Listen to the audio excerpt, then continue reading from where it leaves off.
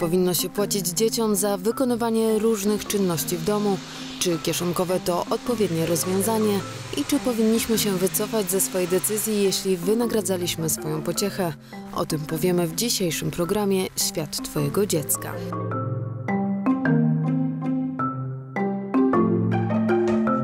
Jeżeli chodzi o płacenie za obowiązki domowe dzieciom, to opinie są bardzo podzielone.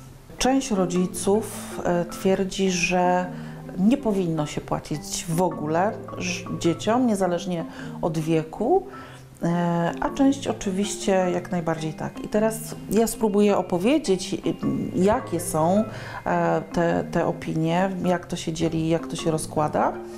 E, wnioski i tak rodzice muszą wyciągnąć sami, bo, bo to oni są rodzicami, znają swoje dzieci, znają swoją sytuację materialną. I teraz tak, jedna grupa nie płacimy dzieciom.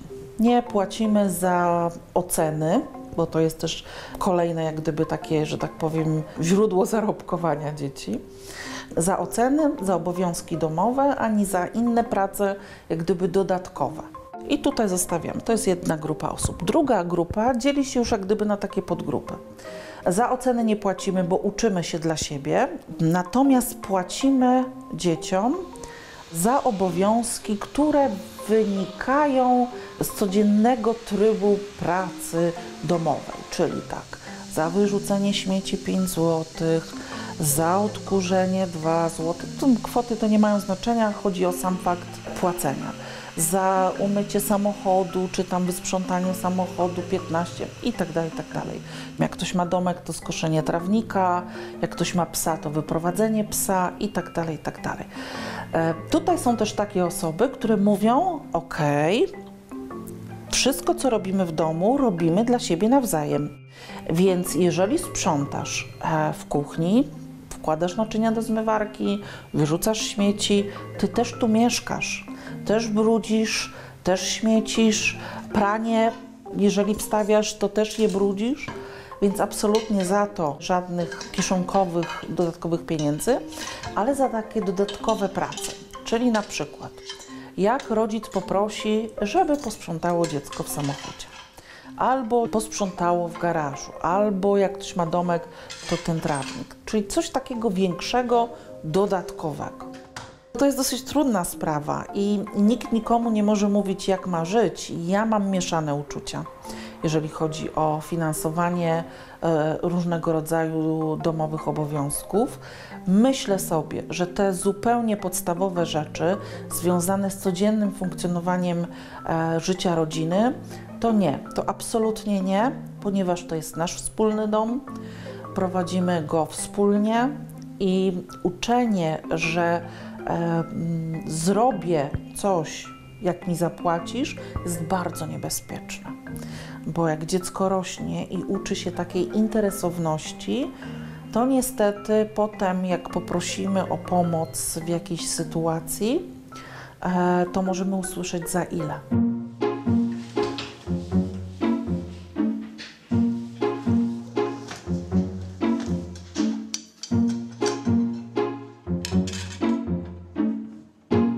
Jeżeli dziecko mówi, zapłać mi, to, to zrobię, to znaczy, że gdzieś prawdopodobnie został popełniony błąd. To znaczy, że wcześniej nauczyliśmy dziecko, że, e, że może oczekiwać od nas zapłaty za jakieś rzeczy, tak, za robienie czegoś. Ja rozumiem, gdyby to była sytuacja, kiedy na przykład mamy prywatną działalność i potrzebujemy pomocy na przykład przy posprzątaniu mojego prywatnego biura albo przeniesieniu czegoś w moim biurze. To jest już praca zawodowa, więc w tym momencie myślę sobie, że w takiej sytuacji można byłoby porozmawiać uczciwie z dzieckiem. Pomogłeś mi, absolutnie jak najbardziej. Natomiast jeżeli mówi, e, e, mówi że jak mi zapłacisz, to zrobię, to trzeba się zastanowić, dlaczego, skąd to się wzięło. Oczywiście, że może być tak, że się nasłuchało to dziecko od rówieśników, że u nich w rodzinie jest tak, że rodzice płacą za różne usługi, że tak powiem. No to trzeba się zastanowić, czego chcemy nauczyć nasze dziecko. Myślę, że to jest w ogóle podstawowa rzecz, żeby się dowiedzieć, czego chcemy nauczyć nasze dziecko. Jeżeli chcemy wpoić mu poczucie, że za wszystko należy się zapłata, to uczymy je i płacimy za każdą czynność w domu. I wtedy mamy też taki efekt, że może być tak, inflacja wzrasta, więc w domu też może się okazać, że tak drożdżówka jest droższa, więc poproszę więcej za wyniesienie śmieci i tak dalej. Jeżeli tak chcemy, żeby tego e, dziecko się nauczyło, to tak po prostu róbmy. Oczekiwanie, że dziecko będzie bezinteresowne, wiąże się z tym, że uczymy dziecko, że to jest nasz wspólny dom, że nawet jeżeli są to rzeczy takie sporadycznie wykonywane, jak posprzątanie samochodu, to jednak ono też jeździ tym samochodem od czasu do czasu na jakieś wycieczki, czy nawet dowożenie do szkoły. Więc to też nie jest tak, że nie jest użytkownikiem tego samochodu, nawet jeżeli to jest ukochany samochód mamy, e, mamy czy taty. Natomiast zdaję sobie sprawę z tego, że przy tych takich mm, dodatkowych zadaniach, dużych zadaniach, zdania są podzielone.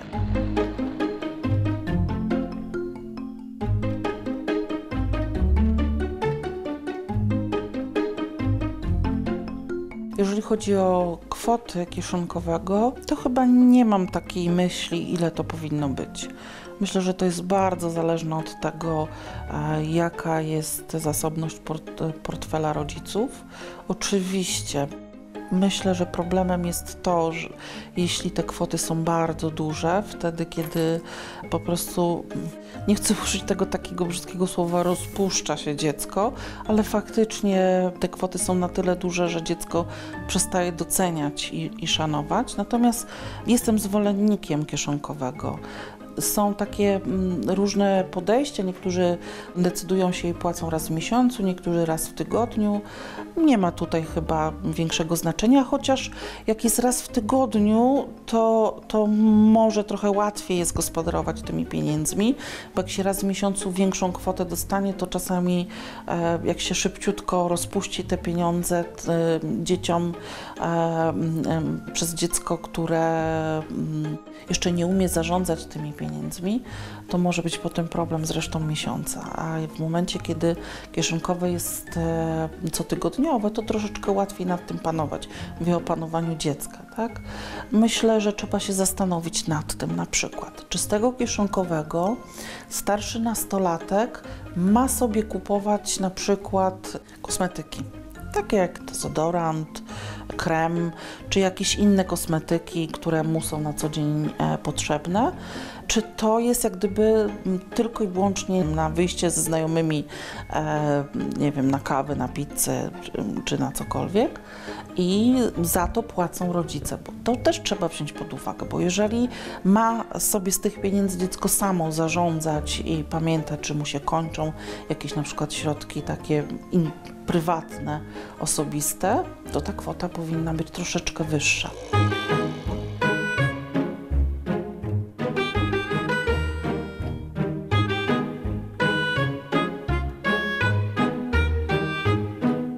Zdarzają się sytuacje, kiedy rodzice płacą za ocenę. Znam rodzinę, w której umowa opiewa na 50 zł za e, każdą piątkę, no i oczywiście wyżej. E, I kłopotliwe jest to w tej chwili dla rodziców, ponieważ tych piątek zaczęło się pojawiać coraz więcej. E, kłopotliwe ze względów finansowych, bo umowa jest umową i wypadałoby się z niej wywiązywać. I jak tu nagle w środku roku szkolnego powiedzieć nastolatkowi, rozmyśliłem się.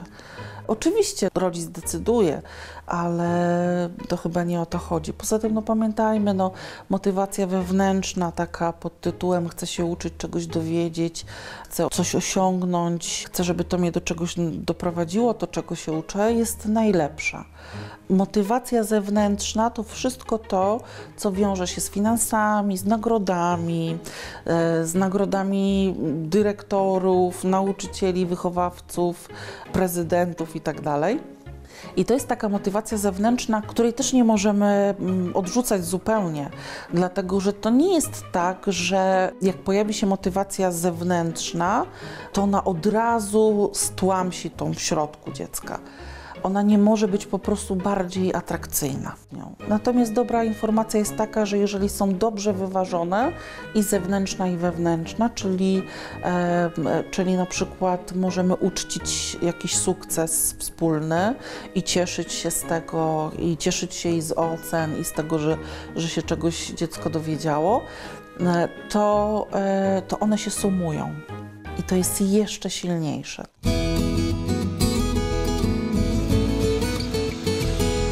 Już wszystko w programie Świat Twojego Dziecka. Na kolejny odcinek zapraszamy 2 lutego.